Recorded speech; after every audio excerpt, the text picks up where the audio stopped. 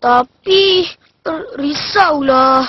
Aku tak pandai ngaji. Nanti Ustaz marah. Jangan risau. Ikut je kita orang. Hmm. Ha. Alif,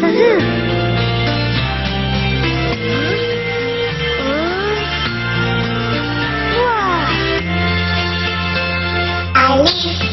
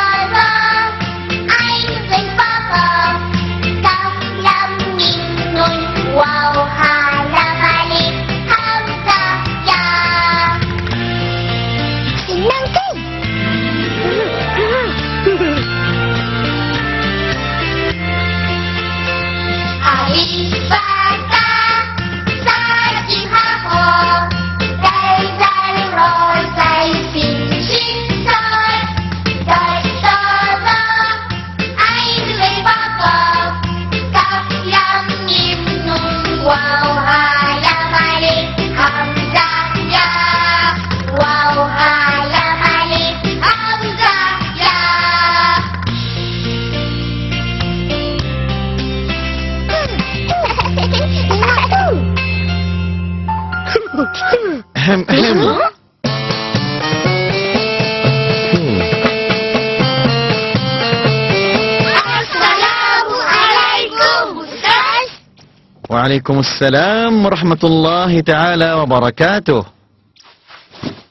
Nama Ustaz Abdul Karim Omar selalu dipanggil Syekh Abdul Karim Al-Makki. Oh. Mulai hari ini Ustaz akan ajar kamu mengaji.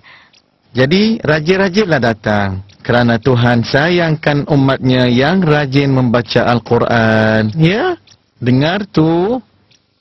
Hmm. Dengar, dengar, dengar. Hmm. Ha, dengar tu. Ikut kita orang mengaji. Jangan terlepas. Nanti rugi. Hmm. Sekarang perkenalkan diri masing-masing.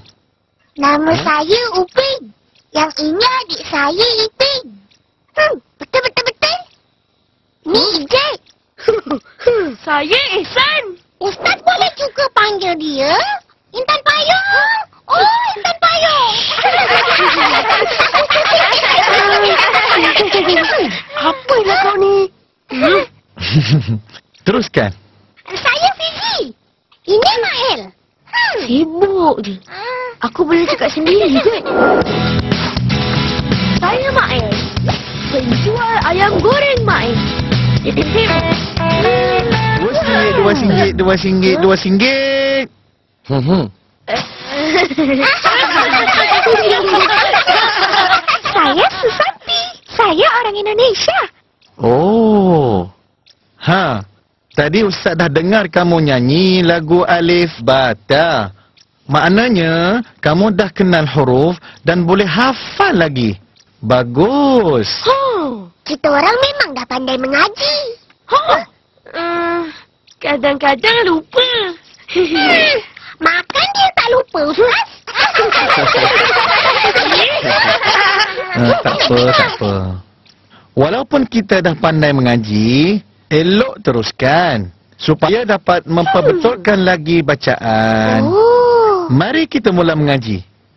Jom kawan-kawan mengaji sama. Semua dah ambil wuduk? Dah. Bagus. Mari kita sama-sama baca doa penerang hati. Bismillahirrahmanirrahim. Rabbi shrah li sadri wa yassir li amri wahlul 'uqdatam min lisani yafqahu qawli. Amin. Dengar Ustaz baca suratul Fatihah. أعوذ بالله من الشيطان الرجيم بسم الله الرحمن الرحيم الحمد لله رب العالمين. الرحمن الرحيم. مالك يوم الدين. إياك نعبد وإياك نستعين اهدنا الصراط المستقيم. صراط الذين أنعمت عليهم غير المغضوب عليهم ولا الضالين.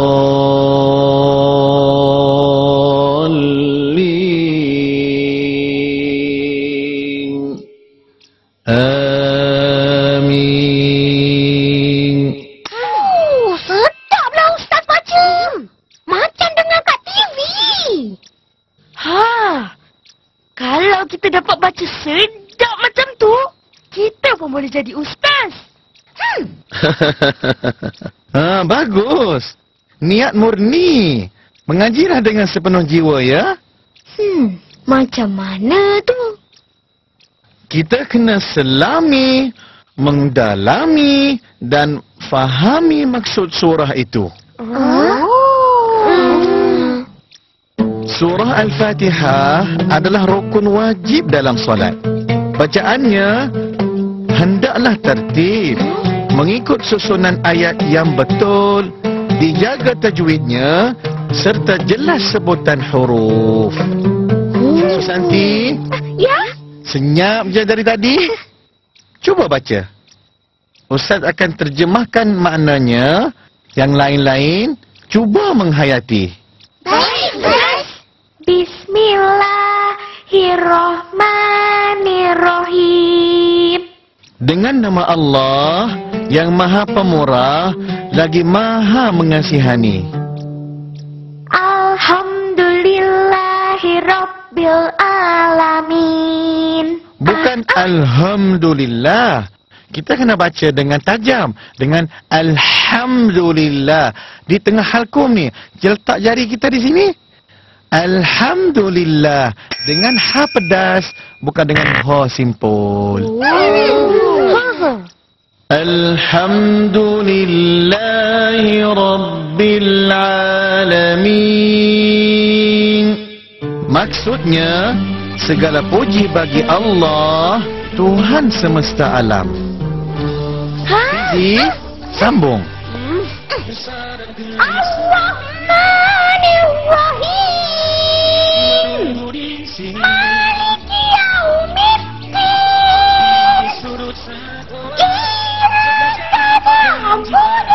wa iyyaka nasta'in. Wah. Dahsyat. Nak lagakkan ustaz lah tu. Yang maha pemurah dan maha penyayang Yang menguasai hari pembalasan Dan padamu kami sembah Serta memohon pertolongan Hmm Hah? Ihdinas siratal mustaqim. Siratal ladzina an'amta alaihim. Ghairil maghdubi alaihim waladdallin.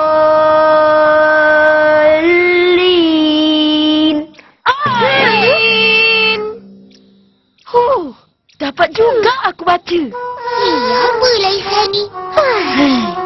Maksudnya Dan Tunjukkan kami jalan yang lurus Jalan-jalan orang yang kau redai Bukannya Jalan-jalan orang yang kau murkai Atau jalan-jalan orang yang sesat Amin Faham semua?